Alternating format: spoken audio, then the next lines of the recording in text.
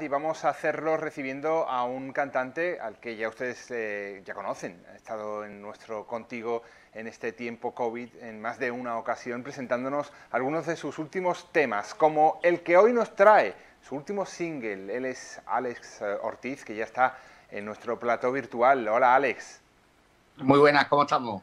Pues eh, muy bien, porque estamos viéndote cómo poco a poco van saliendo los planes y después de esa, la embustera, que ya pudimos bailar con ella en nuestro contigo, ahora vienes con otro temazo que apunta muy alto desde el principio, Apago la luz.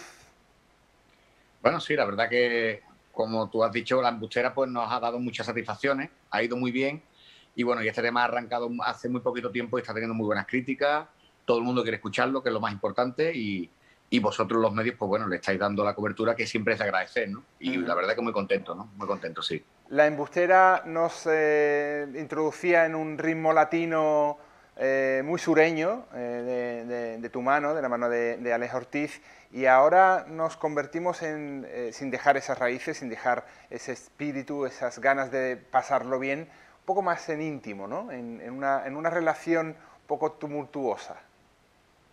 Sí, bueno, la canción la verdad que está dando mucho que hablar, sobre todo porque no, es una relación al uso, normal. Pero bueno, más que una relación es un deseo, ¿no? Que cuando tú cierras los ojos, que es el símil de apagar la luz, pues tú quieres estar con la persona que tú quieres, ¿no? Y, hay veces que tú no estás, ¿no? O que quieres algo, ¿no? No solamente estar con una persona y no puedes conseguirlo, ¿no? Y la única forma es cuando tú cierras los ojos y, pensando donde, donde tú quisieras, ¿no? Estar, ¿no?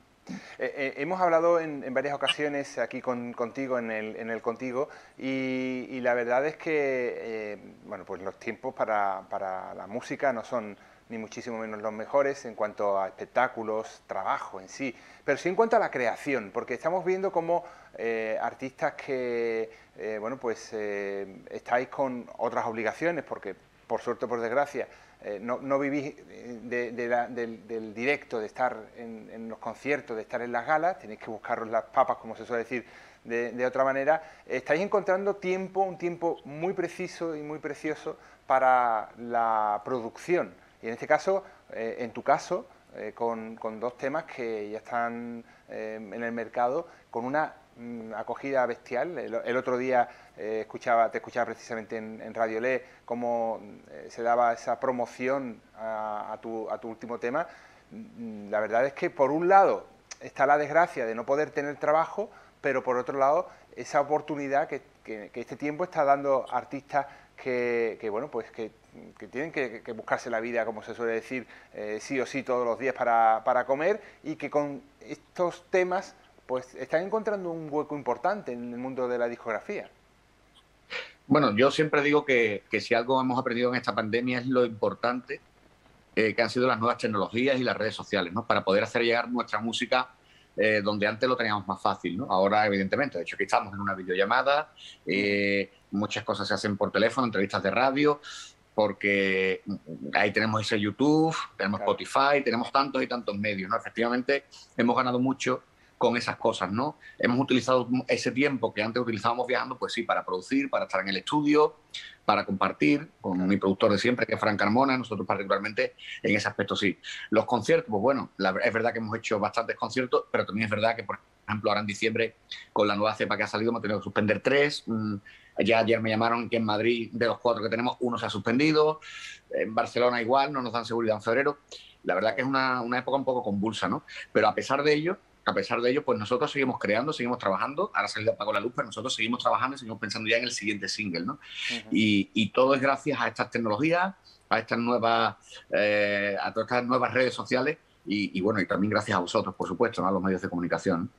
Eh, Alex, vamos a centrarnos en el, trabajo que, estamos presentando, eh, el que queremos ya dar a conocer a, todos los eh, seguidores de Alex Ortiz y de la música en general, de la música andaluza, de ese pop andaluz que, bien, bueno, pues yo creo que decir que viene emergiendo me parece que, es una simpleza, porque el pop andaluz lleva mucho tiempo emergiendo y siempre ha estado ahí, tenemos grandes artistas que que, han venido antes y que van a seguir después y que no se trata de poner en valor a nadie, pero que el pop andaluz es algo que ya es más que conocido y consagrado.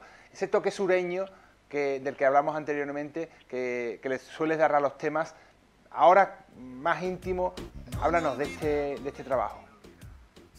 Bueno, la verdad que el, tema surge, nosotros, bueno, mi productor y yo quedamos todos los jueves para, almorzar, para hablar de música y cuando surge para crear. Y efectivamente, un día de julio, pues hablando sobre las anécdotas que, pasan en el día a día. Yo siempre digo que no, es necesario inventarse ninguna historia, ni de amor ni de la vida. Con lo que pasa todos los días tenemos para 20.000 canciones y 20.000 20 discos. ¿no? Y a raíz de una conversación, pues nosotros nos ponemos a hablar, hablando de las nuevas las nuevas tendencias, ¿no? Eh, hablando un poco del reggaetón, cómo se podía mezclar con, los aires flamencos, con el pop del sur, con... Y, hablando de eso y hablando de la historia, pues un momento a las 4 de la tarde, donde paramos lo, lo que estábamos haciendo, que era comer y tomarnos una copa, y me miró él, lo miré y digo, es el momento de salir al estudio. Y ahí empezamos a hacer Apago la Luz, ¿no? Buscamos ritmos, buscamos ritmos actuales, porque al fin y al cabo, aunque mm, hay que seguir conservando el, como digo yo, yo sigo conservando el Alex Ortiz de hace 20 años, de cuando empecé cantando baladas, pero tú tienes que ir con los tiempos, ¿no? Y hemos ido buscando y adaptándonos a los tiempos, siempre respetando lo que, lo que hacíamos antes, ¿no? Y de ahí empieza Apago la Luz, empezamos a crear ese día y cuando salimos del estudio eran las 8 o las 9 de la noche ya, que todavía no era de día, bueno, tú sabes que en Andalucía en el mes de julio prácticamente tenemos esa suerte.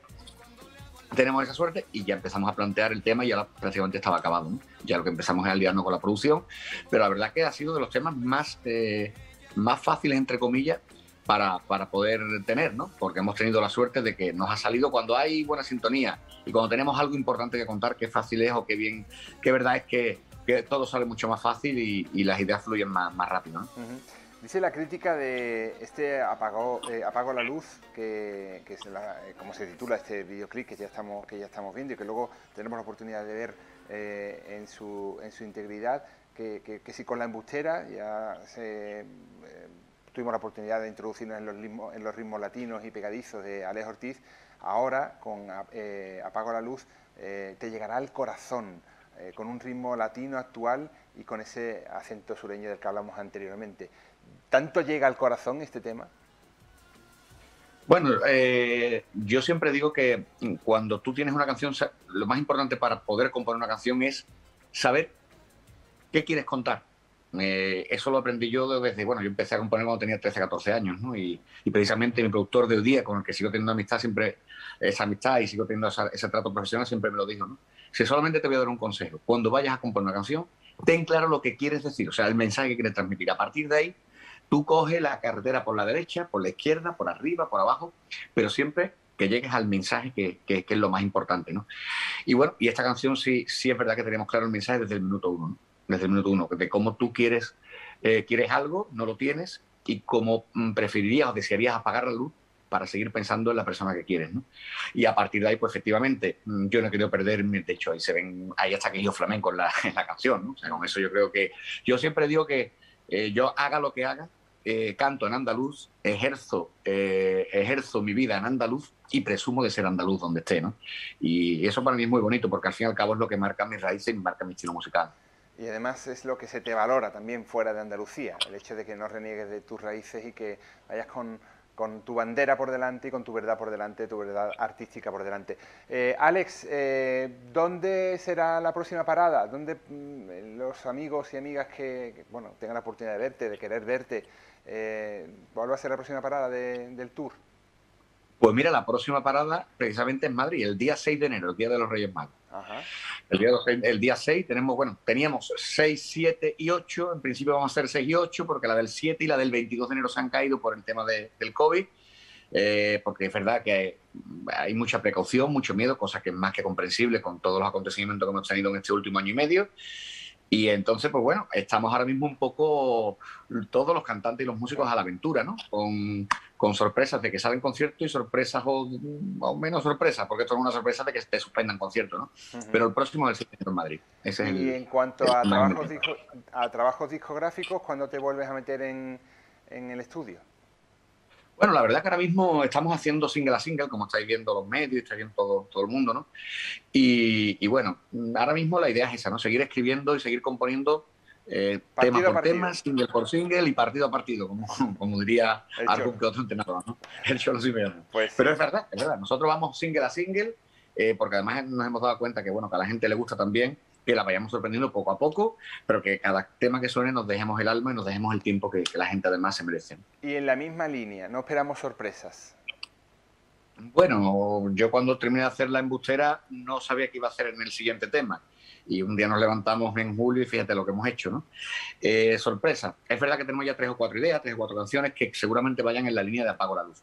Pero mm, te mentiría si te dijera que ya tenemos claro el, siguiente single. Estamos trabajando y, yo siempre digo de siempre he dicho de broma, digo, bueno, a mí ya lo que me falta cantar es Jota Aragonesa y La Sardana y poco más, ¿no? Ya, ya he hecho de todo, ¿no? O sea, que, que no, te, no te asustes si sale algo distinto, ¿no? Bueno, pues en cualquier caso será con el corazón y desde el corazón. Eh, Alex, muchas gracias por estar con nosotros. Eh, enhorabuena por este nuevo trabajo y precisamente con él nos vamos a quedar para que toda la audiencia de Costa Noroeste de Televisión pueda bailarlo, aunque sea en el salón de casa, aunque sea solo, pero también el ritmo cadencioso como que mola un poquito. Gracias, Alex. Nada, gracias a vosotros y feliz año a, toda vuestra audiencia, a ti y a toda la gente que trabaja en este medio y agradeceros, por supuesto, la entrevista y siempre darme cobertura y ese cariño que me dais. De verdad, gracias.